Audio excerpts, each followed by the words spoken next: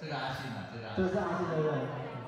好，带来这首什么歌？阿信要不要讲一下这什么歌？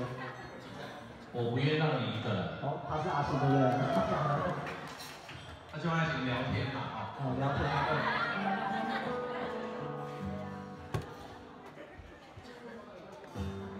哎，我可以讲一个关佑讲的笑话吗？啊，不是，怪兽怪兽讲的笑话。好，进来要唱，要营造嘛，哦。好。哎，要聊天嘛。那个讲笑话来。这个阿星会问怪兽啊，那怪兽就说了，怪兽讲了一个笑话。现在大家已经吃完饭了，哦，所以大家消化一下。那个有一对男女朋友，呃，刚好在热恋，那两个站在那边。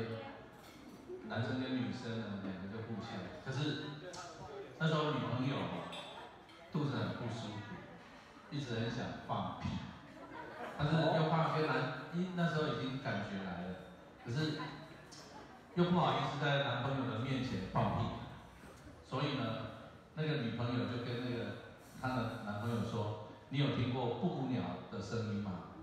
然后她男朋友跟她说：“没有。”所以那时候他女朋友就跟说。那我学布谷鸟的叫声给你听，布谷，布谷，布谷，就在那个时候，他就利用那个时间就放屁了。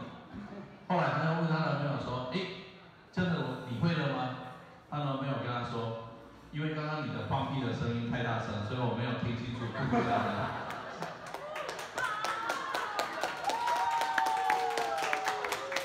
还有那个去五月天那个演唱会的传统，对不对？